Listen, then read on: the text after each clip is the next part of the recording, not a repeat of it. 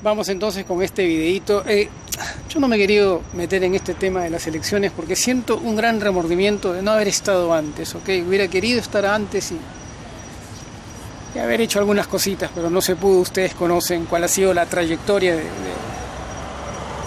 de, las decisiones que he tomado últimamente. Pero escucho, escucho por ahí este señor, eh, Johnny Lescano, no sé quién es, no tengo la menor idea de quién es, no sé, no sé de dónde viene, no sé sé que es peruano, pero no, sé de, qué provincia, departamento, no, sé a qué partido representa, no sé cuál es su propuesta, no sé cuál es su discurso, no sé cuál es su visión o si tiene una visión.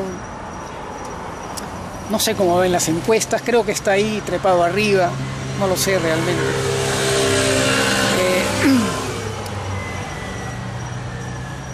Quería hablar, sobre ninguna de las propuestas de, los candidatos, este, porque, porque en realidad veo que no tienen una visión. Cuando un, candidato no tiene una visión de país, entonces, ¿para qué hablar? No tiene sentido. Pero este señor Johnny Lescano acaba de mencionar algo que me atañe a mí de manera personal, eh, por una cuestión militar. Soy nieto de, aviador y soy hijo de aviador. De modo que es un tema que me atañe a mí personalmente, lo, lo he mencionado en gran cantidad de mis videos, ¿ok? De modo que vamos a, a, sopesar el pensamiento de este señor. Este señor dice lo siguiente. Dice que eh, si asumiera la presidencia del Perú el 28 de julio de este 2021, eh, una de sus primeras acciones en términos de relaciones internacionales diplomáticas sería solicitar la devolución del Huáscar. Vayamos por partes. De parte de Chile. Chile no es un país amigo, Chile no es un país hermano, Chile es un país enemigo del Perú. Es un país que ha crecido a partir de una victoria de hace 140 años, 1883, y el Perú ha tenido que verse obligado, coercionado, a crecer a partir de una derrota. No es lo mismo, no es lo mismo. Hay que ponderar el desarrollo de un país y el desarrollo de un tercer país. Ni hablar el caso de Bolivia. Chile le quitó el sueño de nación. Ahora bien, voy a solicitar la devolución del Huáscar. ¿A quién? A tu enemigo.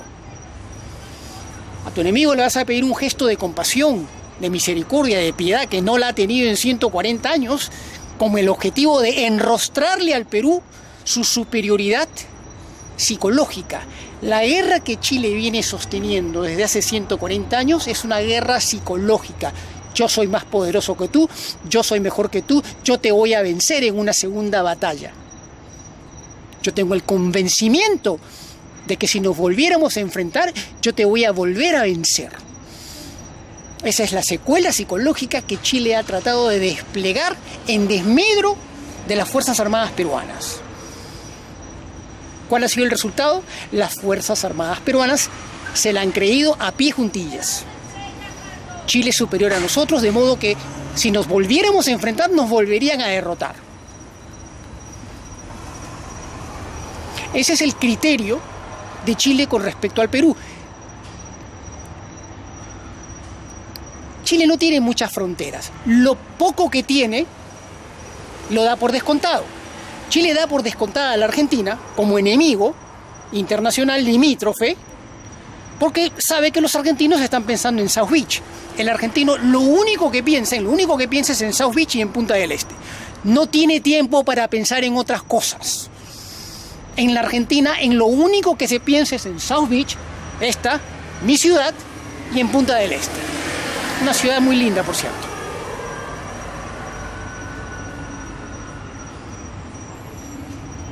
Bolivia es un país que ha perdido el sueño de nación, Chile se lo quitó. Bolivia no está en capacidad de enfrentar un, conflicto limítrofe. No estoy hablando de una guerra, estoy hablando de un conflicto limítrofe, ¿ok?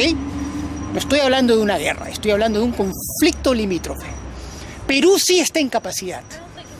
Si Perú está en capacidad, el chileno que es un tipo hábil, el chileno es un tipo muy hábil, yo los reconozco como gente hábil porque son hábiles para el universo de las ventas. Yo soy una persona de ventas, yo sé reconocer a una persona que entiende de ventas.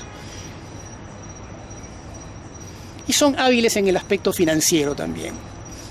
¿Ok? Es otro tema. También tiene que ver con las ventas, obviamente, pero es otro tema. Es el tema del curro, que no es otra cosa que tomarle el pelo a la gente, ¿ok?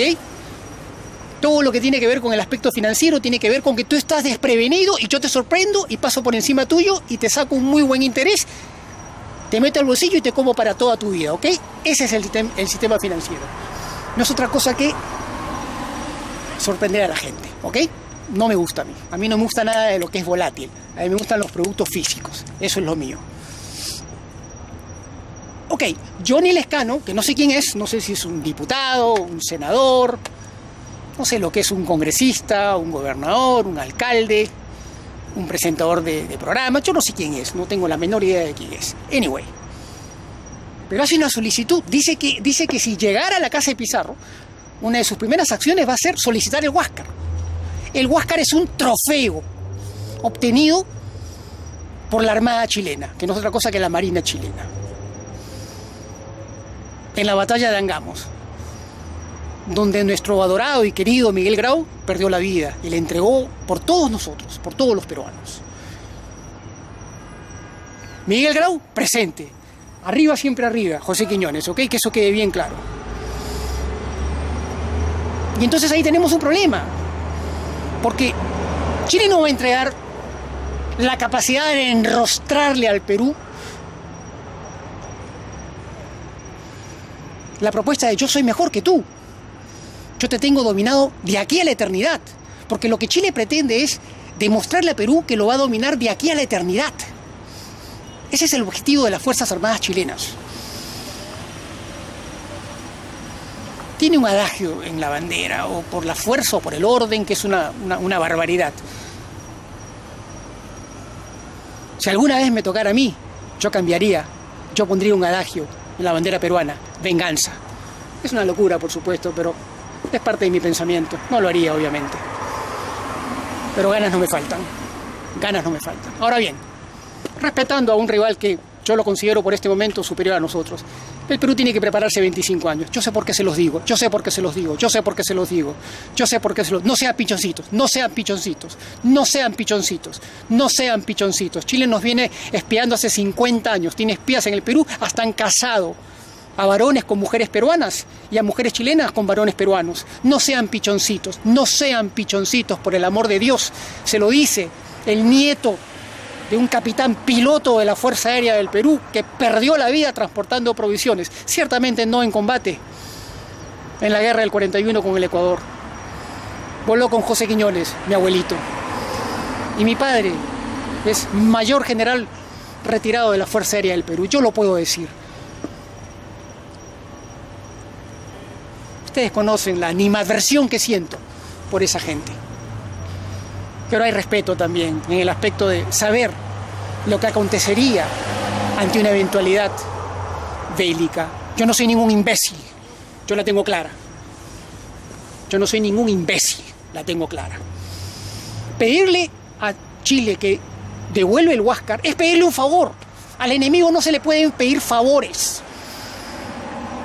Con el enemigo lo único que puedes hacer en algún momento es negociar.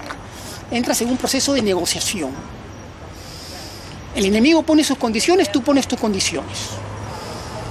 Un poco la devolución de Tacna en 1929, producto de una negociación diplomática, transacción diplomática. Pedir la devolución del Huáscar es pedirle un favor a un país que no ha tenido compasión, no ha tenido piedad, no ha tenido misericordia con respecto a nosotros.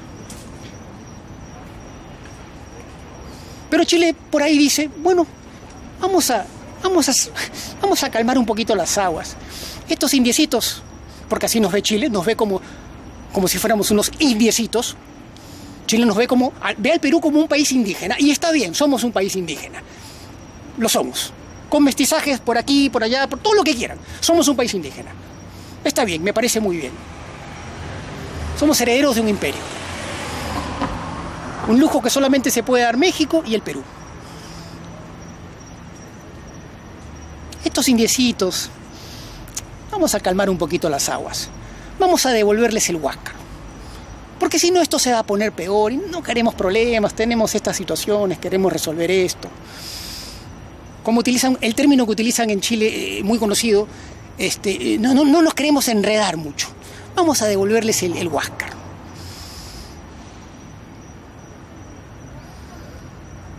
Puede, pueden llegar a hacer ese gesto. ¿De qué le serviría al Perú? El Huáscar, si por alguna razón Chile producto de una estrategia diplomática que nada tiene que ver con hacerle favores al enemigo. Chile sabe que el Perú es un país enemigo. Lo entiende desde las plantas del pie hasta la coronilla. Eso es lo que el peruano no entiende. No sean pichoncitos. El chileno sabe perfectamente que el Perú es un país enemigo. El enemigo del Perú no es el presidente ni la presidenta chilena, es el canciller chileno. Ese es el enemigo del Perú. Son cosas que ustedes no entienden, no lo entienden, no lo entienden, lo tienen que entender, se lo tienen que meter a la cabeza. El enemigo del Perú es el canciller chileno, no el presidente o la presidenta, quien estuviera a cargo de la Casa de la Moneda. Ese es el enemigo del Perú.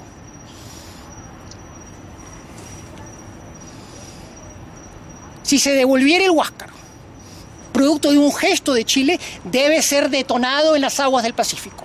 Debe ser detonado en el litoral peruano, debe ser, debe ser detonado, debe ser detonado por la Armada peruana, por la Marina de Guerra del Perú, debe ser detonado, debe ser detonado. No se puede conservar un trofeo de guerra de Chile. El Huáscar es un trofeo de guerra de Chile. Si fuera devuelto, tiene que ser detonado para que nuestro Miguel Grau descanse finalmente en paz que su inmolación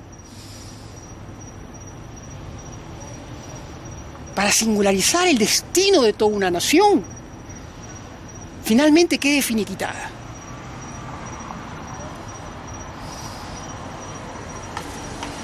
Que el sacrificio que hizo por todos nosotros quede ahí, en las aguas del Pacífico, Pacífico peruano. Ese buque no debe descansar en tierras peruanas. El Perú perdió la guerra, hay que asumir, hay que asumir la derrota, pero a partir de esa derrota construir un mejor país. Para eso yo me veo obligado, tengo, yo que tenía vuelo para diciembre del 2020. Lamentablemente American Airlines no me dejó subir al avión. Estuve, no sé, hora y media, dos horas en el aeropuerto intentando subir al avión. No se puede, acá no puedes hacer cosas feas, ¿me entiendes? No, te lo permiten. Finalmente no pude subir por no tener la, el test del coronavirus. Pero tengo que regresar. Tengo que regresar porque quiero formar este partido, eh, esperar que eh, pasen estas elecciones, formar este partido. Eh, quiero meter algunos, meter gente al Congreso más adelante y después tener una, plataforma este, más pronunciada para buscar la casa de Pizarro, ¿ok? que esas son intenciones que todos ustedes ya conocen, que yo las tengo. Las tengo a partir de ver la, necesidad de, no ver talento, loco, no ver talento, no ver talento. Se necesita gente, gente con un criterio diferente, loco. Que tenga una visión de país, una visión de país que entienda estas cosas. Tú no le puedes pedir favores al enemigo. El chileno que me está escuchando en este momento, puta madre, este la tiene clara. El peruano me escucha y me dice, eres un imbécil. No les estupideces. Pero el chileno te tiene acá, en la palma de su mano. Come de acá, come de acá, come de acá. Peruanito, peruanito. Ahí está, esa es la verdad. Así nos ven los chilenos. Estos son unos peruanitos. Esta gente no tiene volumen de pensamiento. Esta gente, ¿qué capacidad tienen para organizar sus Fuerzas Armadas? Nosotros estamos preparados para cualquier situación que, que sobrevenga. Estos, estos no pudieron con una pandemia, no pudieron solucionar el tema de las vacunas. Estos, estos peronitos, estos indiecitos son pan comido. Indiecitos viniendo de un país mestizo. El problema de Chile es que cuando se ve el espejo se ve, se ve noruego. Mierda, soy escandinavo. Mierda, soy sueco. Soy finlandés. Quítate eso de la cabeza, loco. Tú eres mestizo, chileno, tú eres mestizo. Eres mestizo y feo, muy feo de los más feos de Sudamérica, si no el más feo. Yo pienso que son los más feos. Son gente muy fea, loco. Gente muy fea, gente muy fea. Gente muy fea, por Dios. Un castigo divino, loco. Un castigo divino. Por lo menos nosotros somos indiecitos, somos raza pura, loco. Somos raza pura. Pero ahí arriba, en el norte, loco. O en el sur, mejor dicho. Una patada en los huevos, loco. Qué fealdad, por Dios. Qué fealdad. Qué fealdad, loco. Qué fealdad, Dios mío. Un castigo divino. Un azote bíblico. Anyway. Johnny Lescano. No sé quién eres, loco. Tengo la menor idea de quién eres. No le pidas favores al enemigo, loco. Al enemigo no se le piden favores. Se negocia. Se negocia. Producto de una negociación puede ser devuelto el Huáscar para ser detonado. Debe ser detonado. Miguel Grau tiene que descansar en paz. Si por alguna razón Chile resolviera decir, Vamos a darle de comer estos indiecitos, van a seguir jodiendo, van a seguir jodiendo. Una más, van a seguir jodiendo, van a seguir. Vamos a devolverles el Huasca. Ya los enrostramos, los hemos humillado 140 años. Ya está, ya nos divertimos mucho. Vamos a devolverles el Huáscar para que se calmen las aguas. Ese buque debe ser detonado. Yo soy Miguel desde South Beach. Ya regreso, tengo que regresar al Perú, tengo que regresar.